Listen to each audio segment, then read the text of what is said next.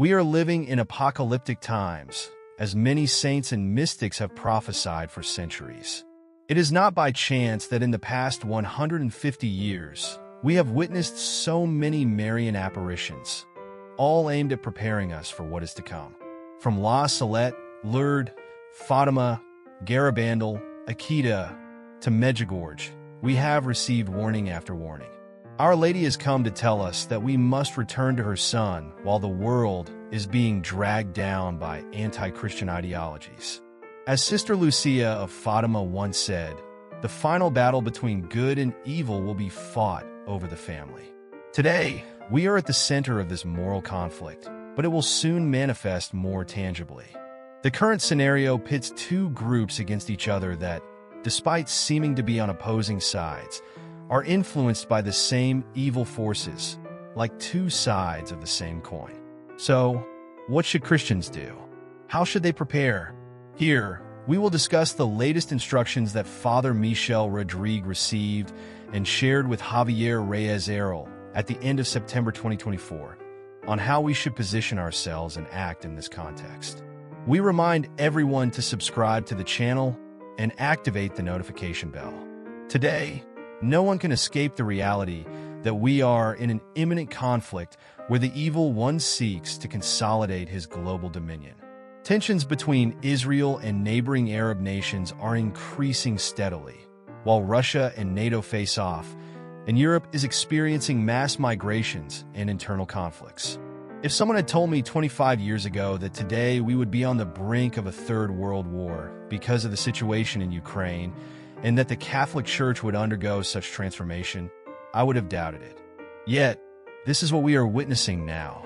Father Michel Rodrigue, along with other Marian apparitions like Garabandal and Medjugorje, has been guiding us on how to prepare. The message is not one of fear, but a call to conversion, hope, and trust in divine providence. Javier Reyes Ayral told Mark McLean at the end of September 2024 that God the Father communicated to Father Michel Rodrigue that his mission is almost completed and he should wait for new instructions. Until these new messages are given, he must remain in his monastery in Quebec and refrain from transmitting more messages, for everything has already been said. Now, everyone has the guidelines and instructions to take the necessary steps and prepare for what is to come. In this context, it has been requested that the faithful pray fervently for Lebanon, which will face a severe trial. It is also important to continue praying for Europe, particularly for France and England, and to keep an eye on the situation in the Middle East, which will worsen and become even more critical next year. This war that is being prepared should be seen clearly. It is a conflict between NATO and an alliance including North Korea, Russia, China, and Iran. The scenario already resembles a world war involving two major coalitions vying for global dominance, like two opposing sides of the same coin. God the Father told Father Michel that his children should not fall into Satan's traps, which aim to corrupt souls through fear, despair, anger, and judgment. Instead, it is crucial to maintain inner peace and trust fully, surrendering at the feet of Christ's cross. This surrender will be the path to salvation, both spiritual and physical. The message is clear. We must surrender to the Lord as best as we can, pray constantly, confess monthly, receive communion every Sunday, meditate on the rosary daily, and trust completely. It is also essential to consecrate ourselves to the Sacred Heart of Jesus and the Immaculate Heart of Mary, bless our homes, and follow heavenly instructions conveyed not only by Father Michel, but also by Medjugorje and other contemporary apparitions. Before chaos reaches its peak, like in an Armageddon scenario, God will intervene to prevent total destruction. Although the losses may be greater than those caused by the First and Second World Wars combined, he will act to preserve creation. A turning point will be when France faces partial invasions and internal unrest. Its allies will not come to its aid, and the Americans, who played a crucial role in previous conflicts, will not be present, either because they are under severe attack or focused on another front, such as the Pacific.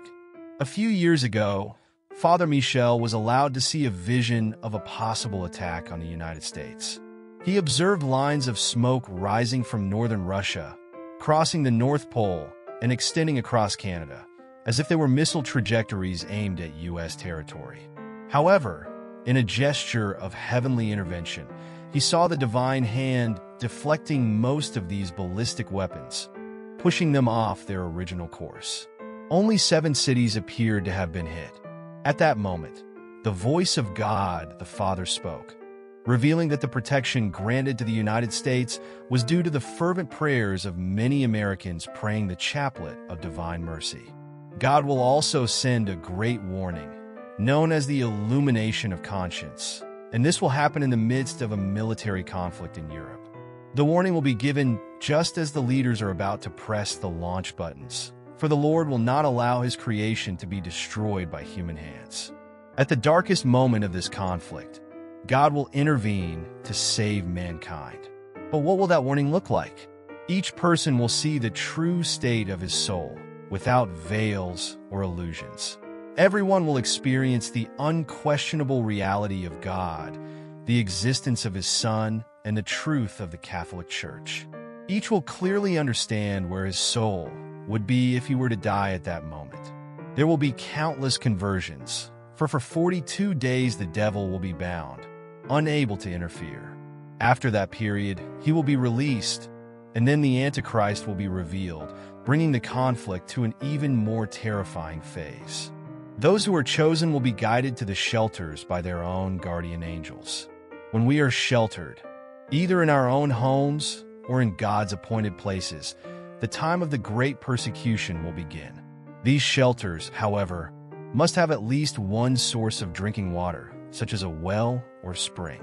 Those who are assigned to these places will have a cross of light on their foreheads, visible only to the angels and to those who prepare these shelters. In the eyes of the unbelievers and enemies of God, these places will become invisible, as if they completely disappeared from the map.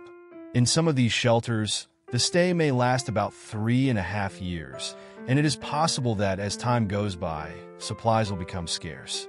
However, God has promised that in times of dire need, He will grant miracles of multiplication to all those who trust in His messages.